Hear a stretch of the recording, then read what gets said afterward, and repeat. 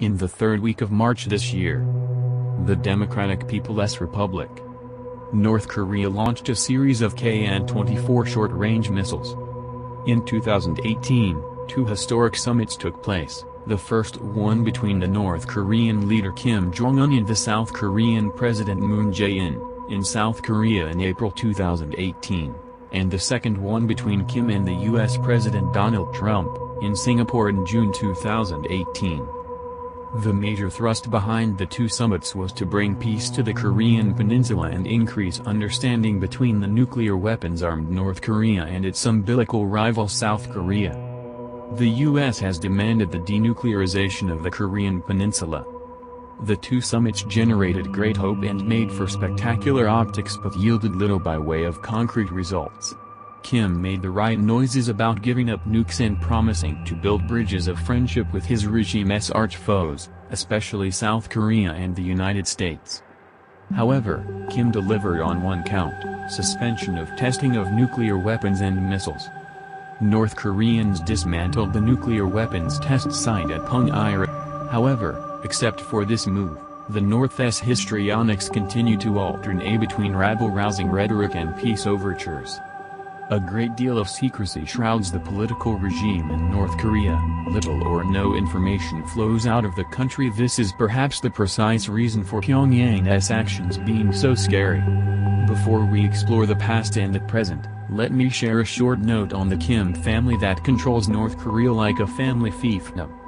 Kim Il-sung, officially titled the Great Leader, ruled North Korea since the Korean peninsula was split in half by the Korean War. 1950-53, till his death in 1994. He laid the foundation of the dictatorship of the Kim family, shaped the communist polity within the country. Upon his death in 1994, Kim Il-sung was succeeded by his chosen heir, Kim Jong-il, officially called the Dear Leader. The son consolidated the military apparatus through his military-first policy and accelerated the pace of the country's chemical, biological and nuclear weapons and missile development program. He died in 2011. Kim Il-sung and Kim Jong-il are together called eternal leaders of the Juche Korea.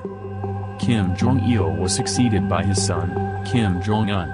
The world saw up for a time the fact that Kim Jong-un was educated in the West exposed to the ideas of democracy and individual freedoms could turn to be positively different, that he would give up his country's antagonistic foreign policy, especially towards South Korea, Japan and the US, roll back the nuclear weapons and ballistic missiles programs, and usher in greater freedoms in his country.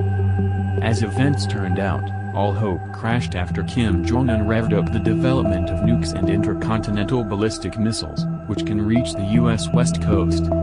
Kim has proved to be a hard nut to crack, even China, which traditionally has been the major ally of Pyongyang, is unable to moderate Kim's erratic behavior. Today, North Korea is widely seen as an international pariah, a view that contrasts sharply with the global perception of the democratic South as a technologically and economically advanced nation.